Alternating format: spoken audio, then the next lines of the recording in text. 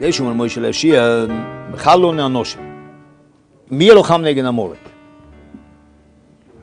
ישרור לוחמו, אבל בכוח של מוישה. מה זה בכוח של מוישה? בכלל לא נענושים.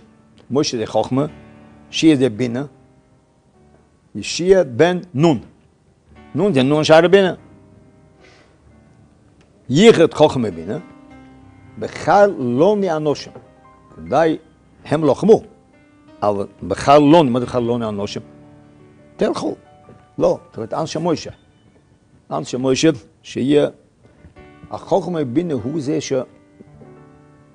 אי אפשר לחום נגד המולק בחיצוניוס בינה. צריך פנימיוס בינה ועוד יותר חוכמה. עוד ישוע הוא הפנימיוס בינה. מתאחד עם מוישה, מה זה פנימיוס בינה? פנימיוס בינה, אפשר שהוא מאוחד עם חוכמה. ופנימיוס בינה זה מתאחד, זה לא שתי דברים כבר.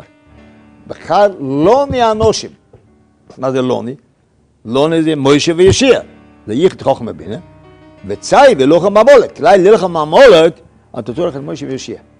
זה חוכמה בבינה, וככה הם לב של לוחם. כי אי אפשר לכבוש את המולק בחיצוניוס, בחיצוניוס בינה. אבל פה צריך מוישה רביינו, בלי מוישה רביינו זה לא ילך.